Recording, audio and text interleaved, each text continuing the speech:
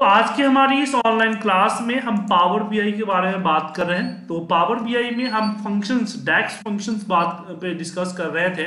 और previous class में बताया था इफ़ फॉर्मूला कैसे परफॉर्म करता है इफ़ एंड और आज हम बात करेंगे नेस्टेड इफ़ के बारे में कि नेस्टेड इफ़ कैसे परफॉर्म करता है।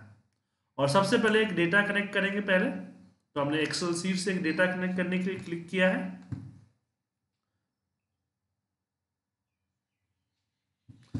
हम यहाँ पे आते हैं और एक्सेल सीट में हम यहाँ पे एक्सेल सीट को सिलेक्ट करके कनेक्ट पे क्लिक करते हैं फ़ाइल को सिलेक्ट करते हैं।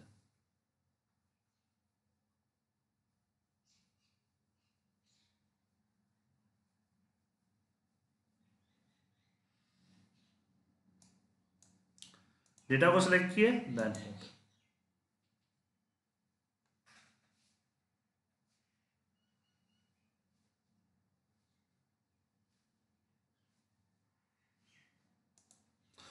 सीट को सिलेक्ट करते हैं and load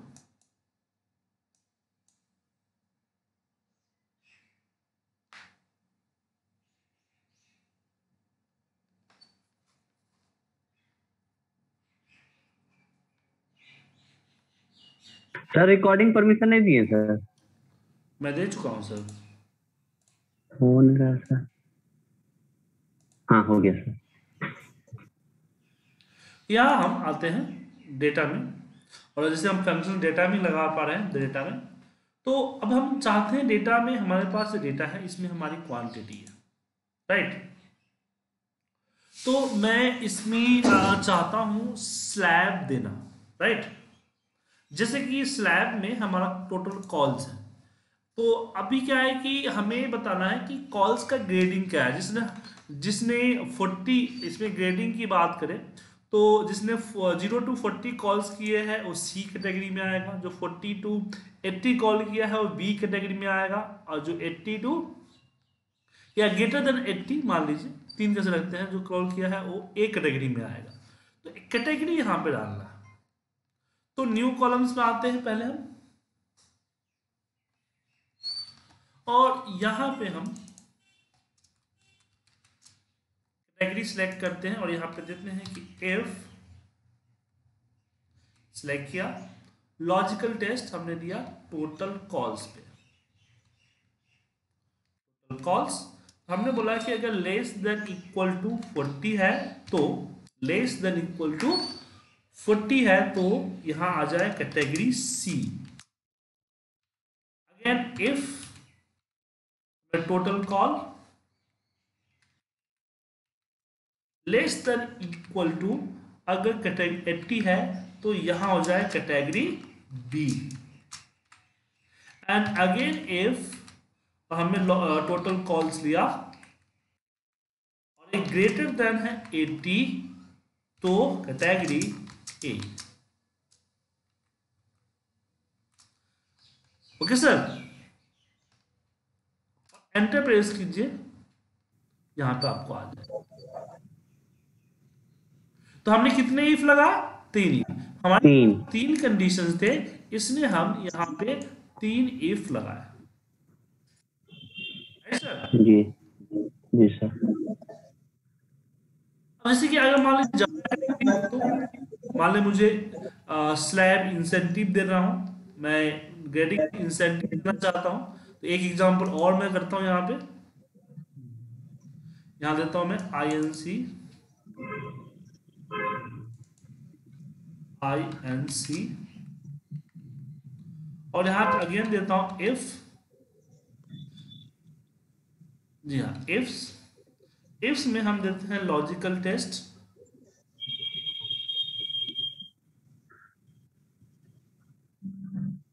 quantity is then equal to 40 to 500 if quantity is less than equal to 60 then 1000 1000 if quantity is less than equal to 80 तो तो फिफ्टीन हंड्रेड क्वांटिटी अब मैं कंडीशन बढ़ा दिया इसमें ठीक है जी जी। हंड्रेड तो टू थाउज़ेंड। और यहाँ पे otherwise four otherwise five thousand कर देता हूँ। या आप इफ़ कंडीशन भी इसमें लगा सकते हैं।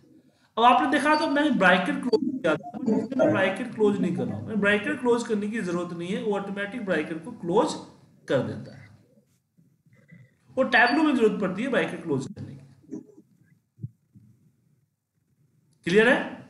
जी जी। अब इसमें एक इफ़ एरर का फ़ंक्शन है। ऐसे मान लीजिए ना मैं क्वांटिटी और टोटल कॉल्स क्वांटिटी और टोटल कॉल्स को डिवाइड करना चाहता हूँ।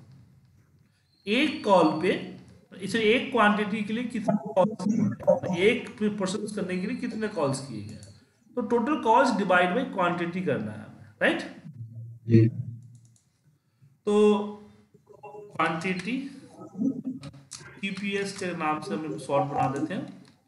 तो अब प्रॉब्लम क्या होती है कि अगर मैंने यहाँ पे कर दिया कि टोटल कॉल्स को हमने डिवाइड कर दिया क्वांटिटी से तो यहाँ पे एक प्रॉब्लम हो सकती है। अभी तो चलो रिज़ल्ट आपके सामने आ गया राइट अब मुझे इस रिज़ल्ट को राउंड करना है तो हम यहाँ राउंड का फॉर्मूला भी अपना सकते हैं। राउंड हमने नियरेस्ट लिए राउंड का फॉर्मूला ले लिया। छोटी सी प्रॉब्लम हो सकती है। क्या प्रॉब्लम हो सकती है? कि अगर ज़ीरो हुआ तो? अब मान लीजिए ना हम इस ज़ीरो को इस ज़ीरो को हम जो क्यूपीएस आया है उसको डिवाइड करना करना चाहते हैं इसके ग्रांड टोटल से। समझे?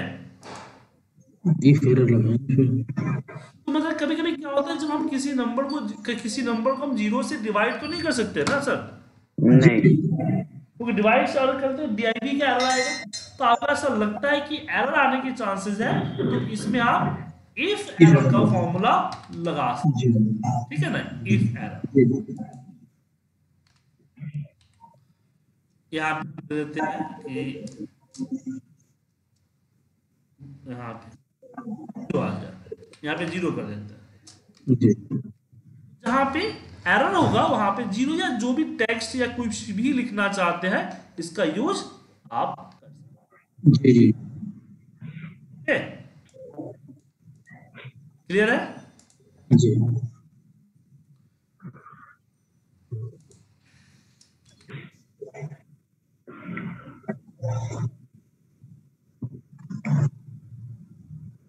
एक फॉर्मूला होता है स्विच का। स्विच फॉर्मूला क्या होता है? जैसे कि मुझे किसको चेक करना है? तो मान लीजिए मुझे चेक करना है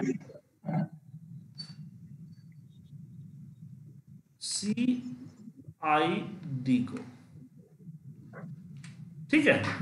मैं बोलता हूँ कि अगर सी आई डी वन है तो यहाँ आना चाहिए न्यू दिल्ली में, ठीक है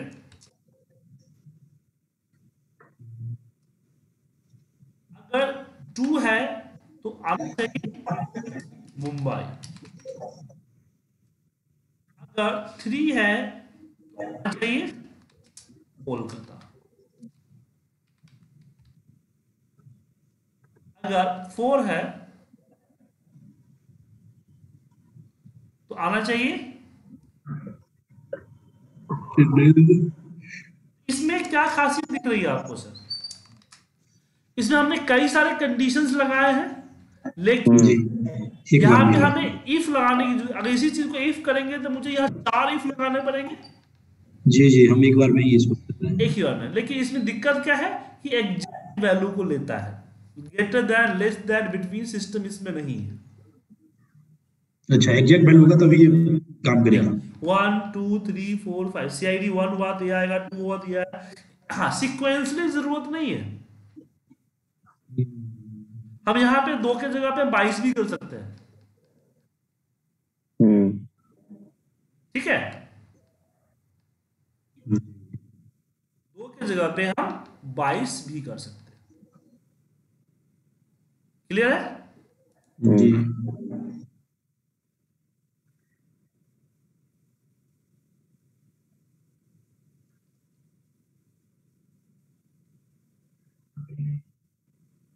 चूज़ फॉर्मूला से चूज़ इसमें नहीं पावर बी में चूज़ नहीं है सर माफ़ कीजिएगा। स्विच है बट चूज़ नहीं है। ये समझ में आ गया आपको? डाउट इसमें स्विच में? नहीं सर बारी आती है कि आप प्रैक्टिस कैसे करें? हम्म, क्या? तो हम आपको कुछ लिस्ट ऑफ़ द क्वेश्चंस देते हैं जिसको आपको पावर बीआई में सॉल्व करना है। जी सर ठीक है ना? उसका फ़ाइल ये सही रहेगा। हो या फिर उसकी फ़ोटो खींच के भी भेज सकते हो फॉर्मूलेज की। या फॉर्मूले भी भेज सकते हो आप क्वेश्चन के साथ। पावर में फ़ाइल पावर की फ़ाइल भेजेंगे तो और अच्छा बात है। अगर नहीं भेज पाए तो उसकी फॉर्मूले एक्सेल फॉर्मूले फॉर्मूले लिख दीजिएगा इसे ठीक है? ठीक लेकिन ये मेरे मुझसे ज़्यादा आपको ज़रूरत है। समझ गए जी जी। जी। इसमें दस क्वेश्चन हैं। हम्म, अब बोले सर ये तो एक्सेल का है ये कैसे होगा? तो आपको क्या करना है इसको कॉपी करना है। तो ये तो सॉल्व है इसको हटा देता हूँ मैं। इसको कॉपी करना है और एक्सेल इसमें पावर बी आई के इस पे जाना है न्यू टेबल पे।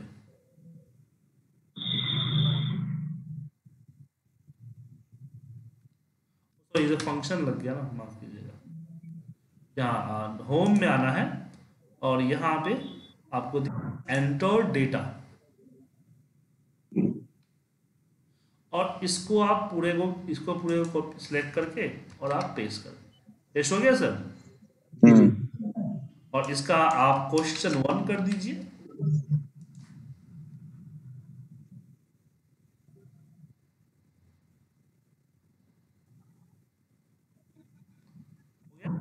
अब इसमें आप नया कॉलम ऐड कीजिए न्यू कॉलम और इसको टेबल के नाम होता है बार बार न्यू कॉलम ऐड कीजिए और इस पे अपना फॉर्मूला लगाइए।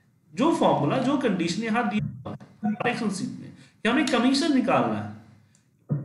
ग्रेटर देन 60 तो क्वांटिटी मल्टीप्लाई बाय 40 समझे? हम्म, यहाँ पे हमें कमीशन निकालने हैं और यहाँ हमने कंडीशन दे दिया कि if quantity